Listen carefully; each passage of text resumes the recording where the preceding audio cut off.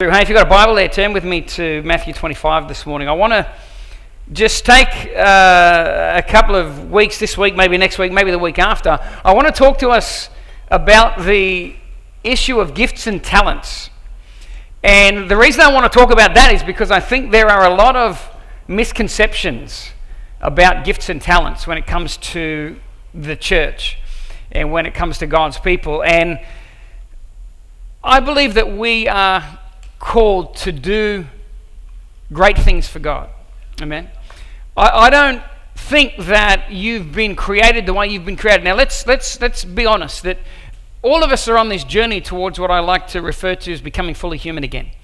I was created by God, fashioned and formed, but I grew up in an environment that didn't necessarily push me towards believing what God said about me or encourage me to do the things God wanted me to do.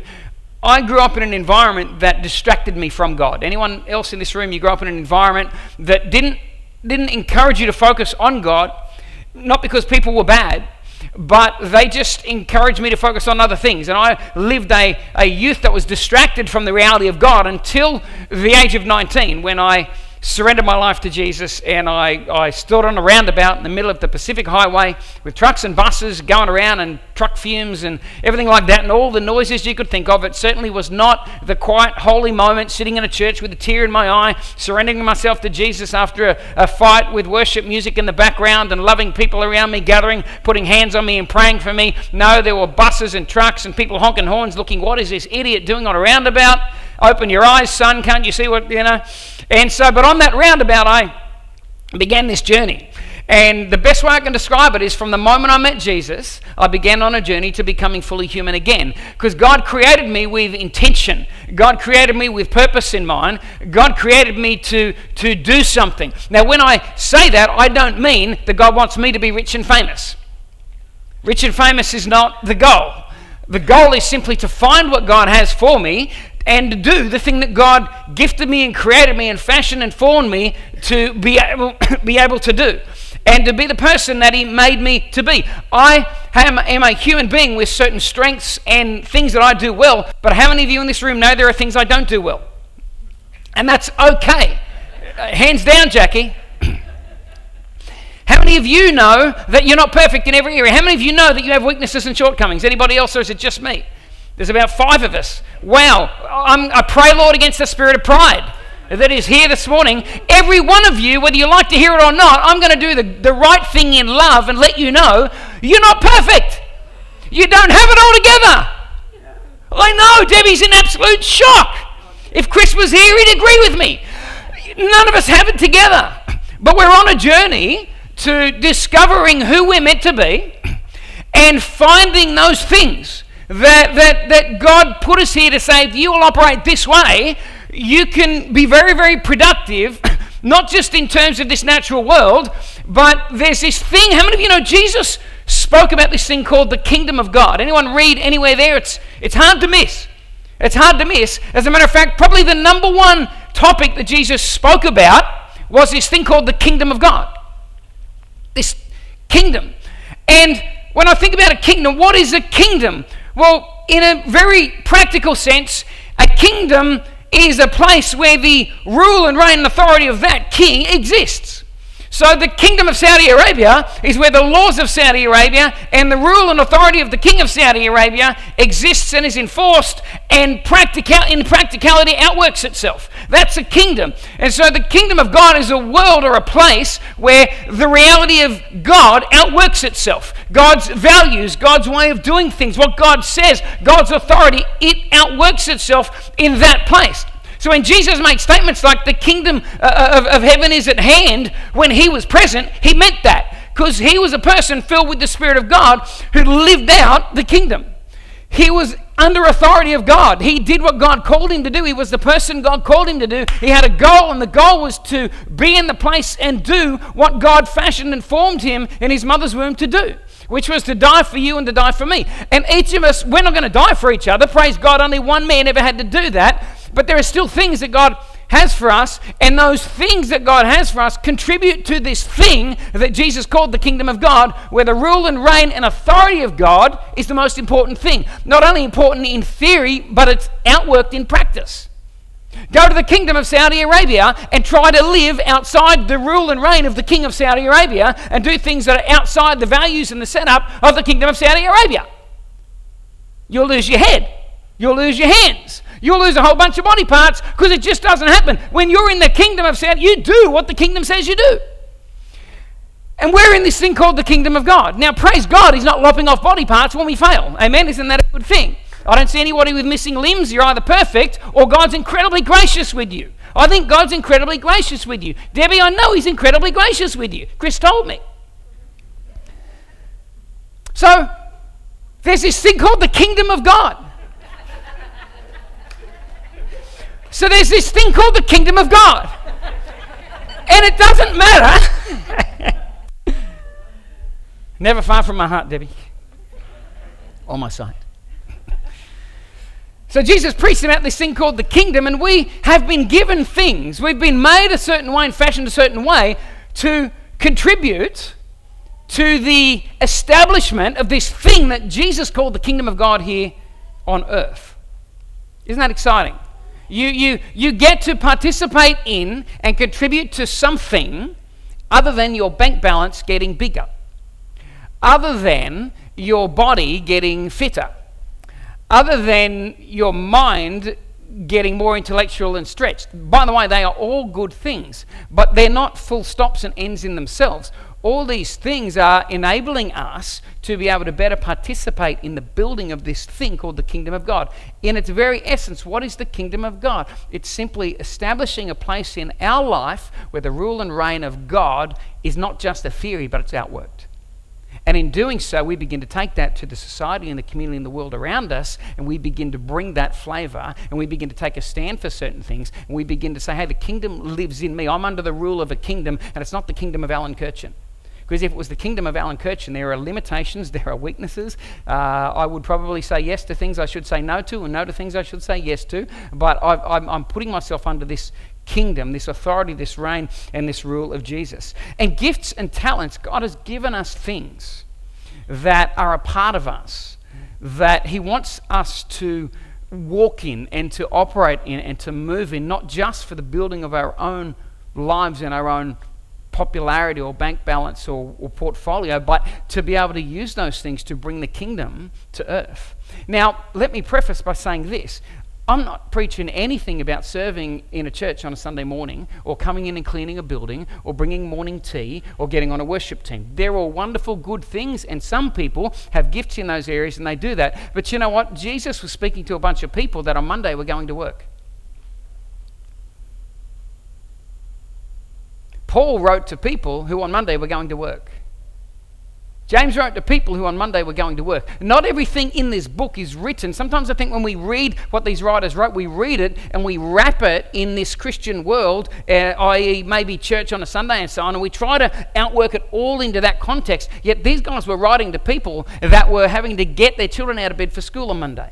They were writing to people who were going to go to work on Monday for a boss that didn't appreciate them or, or an industry that was failing and going backwards, and they were trying to work out if I don't do something in the next two weeks, we could end up in the red. There were all kinds of practical, real life situations that were taking place. So, this stuff is practical in the sense that it's usable everywhere, anywhere, not just here. So, when I talk about gifts and talents, and I encourage you in the next couple of weeks to just have a think about it.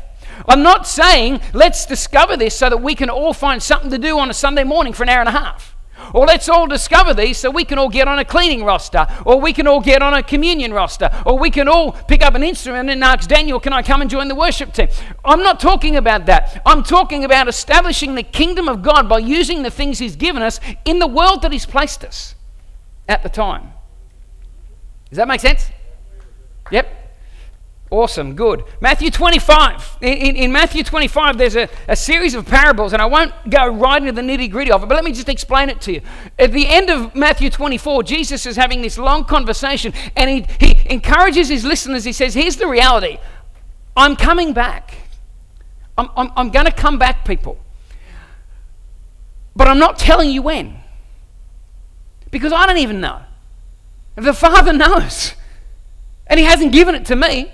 So I can't give you what he hasn't given me. All you need to know is this the most important thing is that live your life with the full knowledge that I'm going to come back one day. I'm going to come back one day. I will return. Maybe before you depart, I'll come back. If not, you'll depart. He's still going to come back. Either way, you and him are going to meet up. We're going to meet up one day. I don't know the circumstances of that, but isn't that a great thought? One day, I'm going to meet face to face with Jesus. I'm going to be with him one day. Get that in your head. You won't be afraid of death. I will meet with Jesus one day. And this is what Jesus tells him at the end of Matthew 24. Then in Matthew 25, he goes into a series of parables. Parables are stories that, that, that, that uh, sort of teach a point. And he starts by talking about these 10 um, um, virgins, he calls them. It's what the Bible calls them. And not, anyway, these 10 ladies. And the bridegroom is going to come. And he shares his story about all 10 of them are trimming their lamps. They've got to get oil in their lamp to keep the, lamp, the light going because there's no street lights and no Duracell battery flash torches they can click on as they run down the street. To. So they've got to keep their lamps lit. And cut a long story short, what happens is that the bridegroom comes and five of them have got their lamps ready. They've got, they've got oil in the lamp. And they go, Man, we, we're going to go and meet him. The other five go, We got no oil. Can you give us some? No, no, no. We got enough oil for ourselves. You should have thought about that. You knew he was coming. Why were you sitting on your backside doing nothing? You should have had oil in your lamp. We had oil in our lamp. You didn't. We're going to meet the bridegroom because the bridegroom wanted us to meet him, to greet him. Therefore, we needed oil in our lamp. So, what did they do? These people, they had oil with them when the master arrived. Then he goes on and he tells another one uh, about a parable of the talents, or, or, uh, or some, some versions say the, the, the, bags of gold or the coins or whatever. And, and uh, he comes to three servants and he gives one of them one uh, bag of gold or one talent, another one two, another one five. And then the master goes on a journey, and then the master comes back. And then there's a series of interactions between the master and each of the people that were given something. And what happened was, cut a long story short, the ones that, that, that, that when the master arrived, they had produced profit, got a raving review on Facebook. They got a, a great review, five star review. But there was another one that didn't have anything, and things didn't go down too well for him in that parable. Just like the five virgins who didn't have the oil, it didn't work out good for them. Why? Because they were expected to have oil in their lamps when he came. And the guy that didn't have profit, it didn't go down well for him. Why? Because he was expected to have profit when the master returned. So the master's coming back. We don't know when. But when he does come back, you better have oil in your lamp. When he does come back, you better have some profit from what he's given you. And then he goes on and he talks about the sheep and the goats. And we all know the sheep and the goats. Everybody love Keith Green, the musician Keith Green. You ever heard the sheep and the goats? Fantastic. If you haven't, go home, Google Keith Green, sheep and goats. It's awesome. Piano playing. He's awesome. And he tells the story of the sheep and the goats from Matthew 25. Bottom line of the story, what happens? There's a whole bunch of guys there, and he separates the sheep and the goats. And one group he says, You know, you you you you fed me. And you clothed me, and you visited me in prison. You did all these things. Enter into your rest. And their response was, I don't even know when we did that, Lord. How do we do that? There was fruit in their life. The fruit was there, and they produced things that were kingdom things by looking after all these people. And then the other group, they said, Well, he said, You didn't do this. And they said, Well, when, we, when were we supposed to do this? We didn't even see you. We weren't even focused on that. So again, you've got this group of people that produced good works. That when the master came back, he saw those good works. He said, Man, you guys are going to win. You other guys, you're in trouble. The guy with the two and the five talents produced, master comes back, it says, You produce something, you win. The guy with the one, you lose. The five virgins come, they got the oil, they say, You win, you guys lose. In other words, there's something about God, whether we like it or not, that He's gifted us and He's put us here for a reason, and when He comes back, He will be looking for some type of fruit. He'll be looking for something, some kind of production from our life that is born primarily out of who we are and what He's given us. I've, got a, a, a, bag of seeds here. And uh, can you do me a favor, Jackie? Can you run around and just give everyone a couple of seeds for me while I'm just just a handful of seeds and and please don't eat them they're not edible unless of course you're a parakeet any parakeets in the room if you're not a parakeet, please don't eat the seeds. But I want you to hang on to these seeds because I'm going to ask you to do something at the end of the service. I'm going to ask you to, to, to hang on to that seed. And for the next few weeks, while I speak about this issue of gifts and talents, I want you to hold those seeds. Maybe when you go home, put them in a plastic bag or something and write seeds on, or write the word talents on them. And I want you to, over the next few weeks, as we talk about this, I want you to look at that, that seed. And I want you to have a think about your gifts and your talents and what is it that God has given you. You see, I believe this. God wants fruit from our life. Matthew, uh, John chapter 15, verse 1 and 2, Jesus said this. He said, I am the true vine, and my Father is the gardener. He cuts off every branch in me that bears no fruit. Doesn't that sound harsh? He says he cuts off branches that don't bear fruit. Not because he doesn't love them, but because the branch is there to produce fruit. If it's not producing fruit, then we'll get rid of it. Because we'll take away from that branch so the sustenance ain't going to a branch that's producing nothing. Let that energy and sustenance and vitamins and minerals go to a branch that is. A little bit like the parable of the talents. You got one, you did nothing with it. I'll take it off you. I'm going to give it to the guy with five. It makes no sense. But what he's saying is this that, that I want, you're called to bear fruit. And if you're bearing fruit, I'd rather be pouring into that branch than a branch that's doing nothing. If you're not producing fruit, then no one's going to notice whether the branch is there or not anyway, because you don't produce anything. John 15, 1 and 2 I am the true vine, and my Father is the gardener. He cuts off every branch in me that bears no fruit, while every branch that does bear fruit, he prunes. So even a, even a, a branch that bears fruit gets pruned. It still gets cut back. It's not like if you bear fruit, life is rosy and everything's great. And then he says, I prune you back. But there's a reason why I'm pruning back because you prune things so they produce more. They produce more. So that it will bear even more fruit. This is to my Father's glory that you bear much fruit, showing yourselves to be my disciples. In other words, he's saying, you know what? Here's a reality. You're saved by grace. There's nothing you can do to receive salvation. You are saved by grace through faith. But once you walk through that door of salvation, your growth, hey, you've got, you got a part to play in that. You've got a part to play in that. You ever have those people that just rock up, hey, I'm here, look how special I am, I'm a, I'm a celebrity. And a celebrity, they'll, they, they, they'll walk into to places and you read the stories and stuff, and they get upset because a policeman pulled them over for speeding, like, hey, but I'm a celebrity. You know who I am? I'm here, celebrity's here. It doesn't matter. It doesn't matter. It doesn't matter. The rules still apply. Christian or not, we still got to work and we still got to do things and we still got to make choices to grow and to change and to develop just like a person without Jesus has to as well. The difference is that we've got this thing called the Holy Spirit on the inside of us and the momentum of God pushing us towards the direction of fruit production and growth. We got a bit of inside information and a little bit of inside help.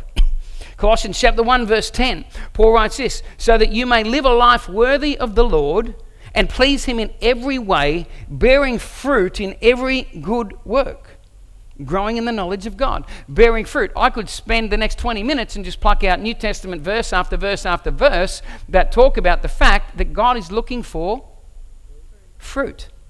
God is looking for fruit, something to be produced through our lives. God wants to see something produced through our life. God wants us to be fruitful. And the reason I want to spend a few weeks talking about gifts and talents is because I believe there are a lot of misconceptions about gifts from a Christian perspective that cause our gifts to be unfruitful. There are a lot of things that we think about gifts and talents that are actually holding us back from being fruitful in our own personal lives, but bigger than that, uh, being unfruitful in terms of trying to build the kingdom of God in the place where God has put us because of some of these misconceptions. So, I want to talk about some of these misconceptions next week. I just want to lay a bit of a foundation this week and get you thinking about gifts and about talents. Here's a reality how many of you know I can only produce the fruit that I have the seed to produce? Give me an apple seed, and I will go away and plant that thing and look after that soil and nurture it. You know what I'm going to get at the end of the day? Apples. Why? Because that's what was in the seed. The DNA is in the seed. So if I plant an apple seed, I'm going to get an apple tree. I'm not going to get an orange tree. So here's something for you to think about. If I can only produce what the seed produces, doesn't it make sense that God is only looking for fruit in the area of the seed that He's given me, not in every other area? Let me put it this way I am not a business person.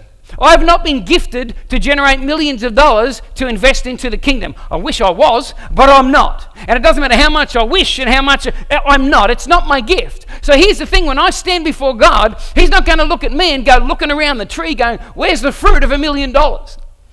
God, you never gave me the seed that I could put in the ground to produce a million bucks. Hate to break this to you, and some of you probably know this. You know, when I stand before God, I probably won't be judged for whether I was a great pastor. It's true. If, if, if according to Ephesians 5, that pastor, and prophet, evangelist, if they are gifts and, and things that God gives, guess what? I am pastor by title. I have a badge that says pastor at Arise Church, but my primary gifts and stuff that are in me, I'm not a pastor.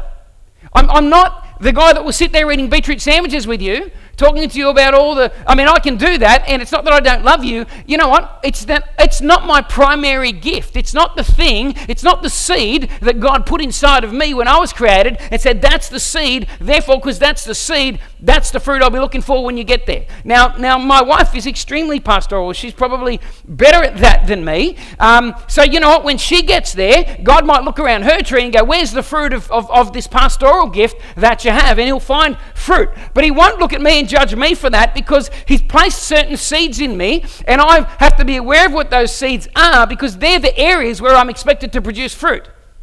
And every one of you, your gifts and your talents are like that seed you're holding in your hand. It's something that God placed in you. It's something that God has given to you. And when God says He's looking for fruit, He's looking for fruit from that particular seed. Whatever the seed is that's in you. You can't produce fruit if you don't have the original seed. But your gifts and talents are like seeds inside of you. And so we don't have to be good at everything and great at everything. We don't have to dive into, you know, some people try to do too much with their life. Some people are that scattered. But, but trying to, uh, I guess, discover and find what is the seed that God's put inside of you so that you can use that seed to produce fruit, not just for your own benefit, but for the benefit of the kingdom of God. You can only produce the fruit with the seeds that you have. Now, let me give you a very simple definition of what I believe a gift or a talent is. Let me give you a simple definition anything with the potential to produce kingdom fruit. Hate to break it to you, but there's not just 12 spiritual gifts. There's not just, depending on which book you read, It'll, it'll, all determine. Have anyone done that? You, you spent time and you've read books on gifts and all this stuff. And it really just simply depends on the author and the angle, who you read, as to how many gifts that there actually are floating out there in the universe. But uh, anyway, just, you just need to know anything with the potential to produce kingdom fruit is a gift. It's something that God's placed within you that God wants you to develop and use so that eventually that's the thing that He uses to establish the kingdom of God. That's your little bit that He uses to establish the kingdom in the world around you. Everybody has gifts and talents. Everybody has gifts and talents. I want you to say this to yourself I have gifts and talents. Just say it. Okay, now say it again, but actually mean it. I have gifts and talents. Some of you believe it, some of you don't. Some of you, some of you are looking at yourself going, Yeah, I've got gifts and talents, and some of you are looking at yourself going, Well, I don't know. Well, let me tell you something. When you were fearfully and wonderfully made by God, there were seeds put in you, gifts and talents. And I want to just tell you today, unequivocally, if you believe the words of these ancient writers, and keep in mind, a lot of these ancient writers knew Jesus personally, they walked with him, um, and if they didn't know him personally, they wrote on behalf of people that knew him personally. So these guys knew some stuff about Jesus even before all the interpreters get involved or whatever your slant is. The fact of the matter is, if you believe this stuff, then you would know that you were put here for a purpose and that you have gifts and talents and things, individual DNA, a fingerprint of God in you. You do. Every one of you are special. Special. Unique. Every one of you have something that God put in you because God wasn't just making billions of people and going, I'm just going to handpick a few superstars to do some really big stuff and the rest of you. No, no. God put seeds in you, invested seeds in you. So everyone has gifts and talents. Here's the thing some of your gifts and talents are written in bold capital letters. There are some things in your life. Uh, we've all got more than one gift and talent. Who knows that? Is there anyone in this room and you can only do one thing in life? That's it. Raise your hand. Good, because if you raised your hand, I would have told you you've just done two things. You listened to me, responded, and you raised your hand. That's two things. Everyone in this room can do lots of different things. We've got lots of, of talents and gifts and things that, that we can do and so on. But how many of you know there are some of those gifts and talents that are written in bold capital letters over your life? They're the things that you know. I can do, I can do a, a whole bunch of different things, but that thing, it's like bold capital letters. That one really stands out. Here are some questions that you can think about when we think about what your gifts and talents are. Uh, what, what do you love to do? I know that sounds very unspiritual, but God likes it when you like doing things. God's not necessarily going to place a call on your life or put a gift in your life and then make you hate it.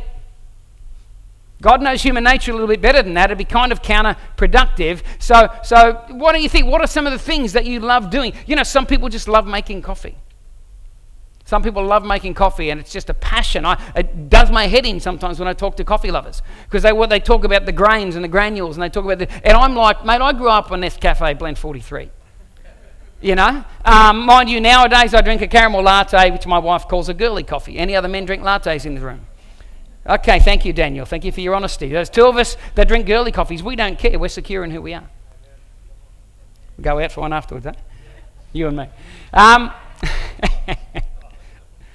Some, but some people just love that. You know, some people make jewelry and they just make amazing jewelry and they love making jewelry. Some people make music and they love. Some people love uh, when they get to spend time with, with little kids. They just love, they walk up to you at church and they just always want to play with your kids.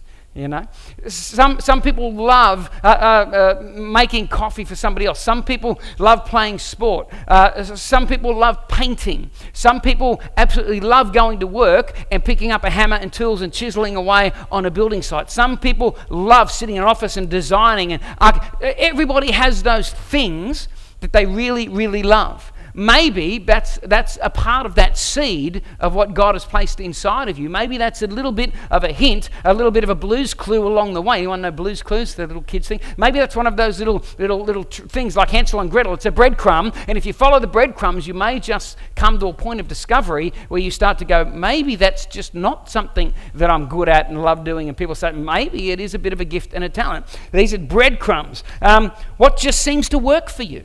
What is it that you do and it just it just seems to work. Anyone have things like that in their life? They do certain, then they just, it just works. You, you, it, it's not like you've spent weeks and months trying to, it just works for you. Um, I, I, find that I do a lot of sports coaching, and one of the things I love about coaching, I kind of fell into sport coaching because I found it just works for me. I, I get a group of kids together or adults together, and I know where we're going, and it just works. Some coaches have got their plans and they've got their, and, and it's a big, and, and I just sort of seem to find it comes a bit more naturally. And I get there with a bunch of guys. At the end of three hours, after running around in the hot sun, we all sit back and go, that just worked. How did it just work? Well, it's a little bit of a breadcrumb, it's a bit of a clue towards that seed that God has placed on the inside of my life. What do people around you acknowledge that you do really well? What other people see as the fruit that's growing off your tree? When people look at you, what do they what do they say to you? What's the common theme? That when you you know when you do this, it's it's great. It, it blesses us. It, it it's it's what are the things, the feedback that you get from other people? I've never had anybody come to me and say, gee, when you make a coffee, it's so awesome. I make terrible coffees. That's why I don't make my own. Praise God for Leslie, because she makes me one on a Sunday. I, I can't make it even instant. It's terrible coffee. I'm not a good coffee maker. No one's ever said that about me with, with, with, well, it's not true. A couple of people have with a meal, but it's fairly hit and miss. Quite often the meals aren't that good, and I don't get people going, wow, how did you do that? You're just such an amazing cook. Most people are going, is there anything else we can have? Um, but that's okay. I don't mind. See, I'm not going to be judged for my cooking skills if it's not a seed that He put in me. He's not going to look at the tree of my life and go, Where's the fruit of cooking? It's not a seed. But there are seeds in my life and there are seeds in yours. What do people around you acknowledge that you do really well? What's that thing that you do that people keep coming back saying, I want more? I want more. I want more. I, I, I, know this with my, my wife that when people sit down with her, she's just got this amazing gift that people like to talk to her and they open up their whole world to her. When we lived in Brisbane, used to drive me crazy. I remember the first day we moved into a new house that we were in, and she goes down the back to hang out washing on the line. And it do, I'm, look, I'm not the most uh, smartest tool in, in the shed, but here's the thing it doesn't take 45 minutes to hang out a basket of washing. So I'm sitting upstairs and I think we're going to have a coffee or something, and it's like 40 minutes. For, she's not back. So I walk to the back balcony, and here she is, and I see the neighbour over there. We've never met them, we've just met them. She's leaning over the fence, she's bawling like a baby, telling Jackie all the heartbreak and everything in her life. Nobody wants to do that to me. Nobody. Nobody. I got to get pliers and things to try to get people to talk to me about their deeper stuff, but they walk up to her and they just want to give us stuff. Just want to talk and unload and open up. And it's a consistent thing. And people always say to me, Oh, your wife is so easy to talk to. And I go, Yes, she is. And waiting for the comment about me, and I never get anything. your wife is so easy to talk to, and you can talk too. Thanks. That's great. But you know what? I'm not going to be judged that way. God's not going to be looking at the end of my day at the tree on my life and going, well, how many of those deep and meaningful things where you counseled and helped people through their deepest? He's not going to do that because it's not the seed He put in my life, but it's a seed that He's placed in there. What is it that you do that people keep coming back for and wanting more? You know what? Maybe it's your work. Maybe it's a work thing. You, you, you, you work in this. Daniel lays carpet, and maybe people just keep coming back and they just keep wanting more. And we got mechanics here, and everybody just wants your service because you're such a good mechanic. My mechanic's amazing. I've put about 30 people onto him. He hates me now because he's so busy, he can't even have holidays. But he's a great mechanic. And so, eh, what is it in your life that people just keep coming back for? They just, you're good at it. I love going to Debbie's place because it's, it, there's always a pile of food and stuff. Whenever you, you go, we're just coming over here, you know, to have a bit of a chat or have a bit of a meeting or something like. And it's, the hospitality is there and it's laid out. I want to keep going back for more. That's a hint, by the way. Invite us back. What energizes you when you do it? What, what, when you do, you get energy out of it. Everyone's seen that movie, Chariots of Fire, and Eric Liddell, when, when he, there was a quote that he made in the movie, and somebody asked him about running, and he said, You know, when I run, he said, I feel. When I run, I feel the pleasure of God. It energizes me. When I do that thing, it gives me energy. And other people look and go, You are a crazy nut job. How can you get energized running? Is there anything in the world more boring than running around in a circle? No. But he's Eric. Oh, I feel the pleasure of God. Well, that's a bit of a breadcrumb. It's a Hansel and Gretel breadcrumb towards that gift, those talents, those things that God's placed in his life. what are the breadcrumbs for you? What is it that energizes you? What's God said to you? Over the years of your life, what are some of the things that God has spoken to you? And told you about yourself and about the future He has for you and, and the impact. And so, what are some of those things? So, these are all just like breadcrumbs. These are all little trails that can help us lead towards the reality of, of, of knowing that, you know, you do have gifts and you do have talents. God has deposited seeds in you. And they're the areas where He's looking for fruit production. He's not looking for production in areas where you don't have seeds. So, the first thing I just want you to know about gifts everybody has a gift and talent. Secondly, um, there's no better, they're only different. There's no better gifts, they're just different. No gift is better, gifts are just different. 1 Corinthians 12 21, Paul writes this He says, The eye cannot say to the hand, I don't need you. And the head can't say to the feet, I don't need you. I don't need you. Imagine in the parable of the talents, you know, we've got the, the five talent man, a two talent man, a one talent man. And, and the one talent man obviously uh, has one talent, the five talent guy had five.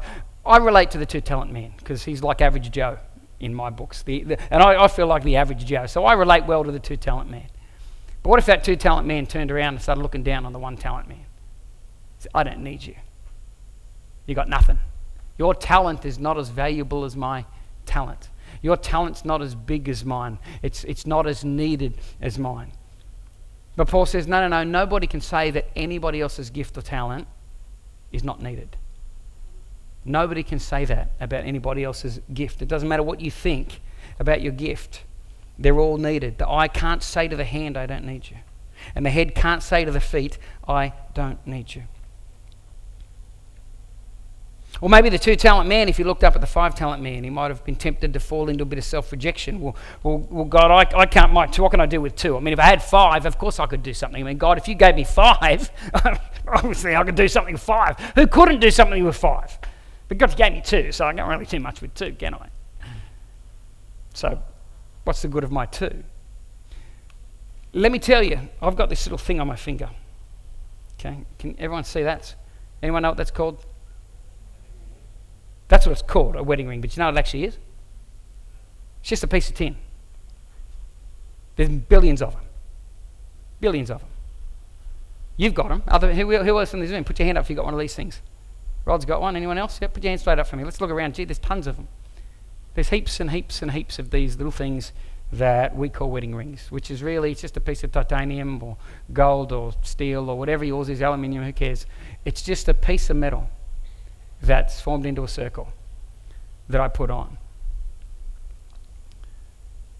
It's just a gift. It doesn't get its value from what it is, it gets its value from who gave it to me. This woman gave me that. It's a ring. Lots of people have got rings. Your gifts and talents, lots of people have got them. Lots of people have got them. When we sit there and we um and ah about our gifts and talents and we compare ourselves with other people, well, if I had what you had, of course I could make a difference, God. Or we look down on other people and belittle their talents and their gifts. When we get into this judgment mentality, pride, or self rejection because of what we do or what we don't have, hey, what you have, the seed that you have, here's the thing you need to understand this. God put it in you. You can work with it or you can try to fight against it for the rest of your life. choice is yours. But here's the thing it's not necessarily about the gift itself that makes it special, it's the fact that your Heavenly Father chose you and gave it to you. It's about who gave it to you. So don't sit there and go, Well, I only make coffee or I can only build houses, or I only this. I wish I was leading worship with thousands of people in a stadium. I wish I was preaching to 10. I wish I, I wish I, I wish, no, no, no. Start finding and discovering that seed that's in you because that seed is valuable. God gave it to you. And that seed is the very thing that He placed in you so that you can contribute to what He wants to do in the world around you. And that seed is the area of your world where when He comes back, that's the fruit He's looking for. He doesn't want you to be Him, He doesn't want you to be her, He doesn't want you looking at other people. So many people in the church are doing nothing with the seeds that are in their life because we're sitting there comparing ourselves with others, we're wishing we had something else, we're so down on ourselves, we don't think that we've got's important. I want to tell you something when the whole body does its work, the whole body grows when every one of us begin to accept the seed that God's placed in your life and work with that seed that God has placed in your life, trust me, you will find purpose, you will find meaning, you will find a dimension to your existence that clicks into gear that's well and truly beyond anything that you'll discover trying to operate outside of it. You might get rich, you might get famous, you might get popular, you might make lots of money and get lots of things operating outside of that seed, but when you stand before God, He's not going to care about that. All He cares about is what you produced with the seed that he gave you. When the guy with five talents, when the master came back, he said, You know what? I've produced another five. He said, Awesome, I'm going to give you some more. The guy that produced the two, he said, I produced two. The master didn't say, Well, you failed, didn't you? Look at this guy over here. He produced five. No, no. He said, I gave him five. He did with what he did with that seed, and he produced. I gave you two. You do what? It wasn't about what they had. It wasn't even about how much they produced. It was the fact that they did something with what they had that pleased the master. So I want you to think about that. You have a seed in your life. It's given to you by God. It's special not because the world says it is, and it's not unspecial because the world says it's not. It's not special because it's done with billions of people or makes you a lot of money. It's not unspecial because of the opposite. It's special because of who gave it to you. The God of heaven created you, fashioned you, and gave it to you. 1 Peter 4:10 says this: Each of you should use whatever gift you have received to serve others doesn't say others in the church only people. It just says others, other people, the gift that's been given to you. You should use that gift to serve others as faithful stewards of God's grace in its various forms. People, there are many gifts and there are many talents. What is a gift or a talent? It's anything that is, has the potential to produce kingdom fruit. In your life, through your life, whatever. You are loaded with gifts and talents. And if you can just connect with that gift and talent, if you can bring that seed to life, if you can work with that seed, then you can make a huge difference in your life for the kingdom of God. God is looking for fruit from your seed, not somebody else's, your seed. So let's spend a few weeks and think about this and maybe go on a bit of a journey and discover what some of those seeds might be. Because if those seeds are lying dormant, wouldn't it be great? To begin to see some flowers bloom and a bit of fruit blooming on those trees. I'm praying that for you and I'm praying that for myself over the next few weeks. So, Father, we just thank you for your word, God. We want to thank you for uh, today, God. Thank you for the fact that every person in this room, God, whether they believe it or not, it doesn't change the fact that you have placed seeds inside of them, God, that you have put things in them, Lord, that you have created a world, God, that you created. You understand how it operates, you understand what it needs, you understand how it functions, God, not just in the natural, but in the spiritual and, the, and that unseen realm. God, you know exactly what this world needs, and you're saying that it needs us. And you're saying that it needs what you have placed in us. It needs the fruit that is going to be born from the seeds that you've placed down on the inside of your people right now. And I just pray, Holy Spirit, would you breathe on those seeds in everybody's life? Would you send the wind of your Holy Spirit, blow God, on those seeds in people's hearts, God. Begin to fan that flame, God. Begin to bring to the surface, God. Begin to give people boldness. Begin to give people confidence in that area, Father. God, begin to open people's eyes to see, God, this, that you, you, don't, you don't care if I don't produce fruit over here, God. It's not the seed you put, but over here, this is that seed, and I want to dive in to that field, and I want to see something produced and something changed for the glory of God and for the kingdom of God. And Father, I pray in the next seven days as we go from here Lord, every person in this room, give us a chance to tell somebody else out there, someone that right now is struggling to hold on, someone right now that doesn't know the truth of who you are. God, somebody that's looking at this world and getting confused day by day, feeling like there's no truth, there's no anchor, there's nothing solid to stand on. God, give us a chance to meet that person, to bump into them, and to tell them, hey, let me tell you some good news. There is truth, there is a rock to stand on, there is stability, and there is purpose for your life, and that's found in Jesus. Give us the chance this week, God, I pray to tell somebody that good news and that great message, Father. And I ask this in Jesus' name. Everyone said together? Amen. Amen. Amen. Amen. God bless you guys. Hey, um, next week Yes, we will have some masks up there for you. Look forward to seeing you uh, back here again. There's tea and coffee next door, so don't feel like you've got to rush off. Hey, if you feel like the Holy Spirit's speaking to you, you feel like God's been saying something to you, man, why don't you turn to somebody? Why don't you go and talk to a friend or somebody say, hey, I'm not going to walk out of here and keep it to myself. I just want to say to you, I think God might be speaking to me about this. Would you pray with me? Would you believe with me? Let's, let's, let's fan that, that, that flame, that seed. Let's not just walk out, meeting's over, get on with life. Come on, let's, let's Let's make ourselves accountable with some of the things God's saying to us, eh? Amen.